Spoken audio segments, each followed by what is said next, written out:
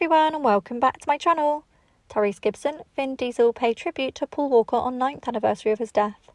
Nine years ago, Paul Walker died at the age of 40 in a tragic car crash in California. Now, on the second anniversary of his death, fans and friends alike are paying tribute to the late actor on social media. Walker's Fast and Furious co-star Tyrese Gibson remembered the star in a post on Instagram, sharing an old photo of them together. It's still not easy. Nine years ago today, we lost our brother, he captioned the pic. Today I'm just going to lay low and process. Clarity through prayers and perspective is what I always seek and pray for. With a heavy heart, I post this.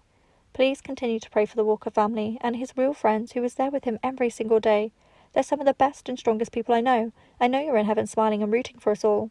Hashtag R-I-H. Rest in heaven. Vin Diesel also paid tribute. No matter where you are in this universe, he wrote on Facebook on Monday, you'll always be my brother. Walker, Gibson, and Diesel co starred in 2003's Too Fast, Too Furious, 2011's Fast 5, 2013's Fast and Furious 6, and 2015's Furious 7, which was filming when the actor died in 2013. Not long after the fiery crash that took Walker's life and the life of his friend Rod Rodas, Roger Rodas, Gibson and Diesel visited the accident site. My heart is hurting so bad, no one can make me believe that this is real.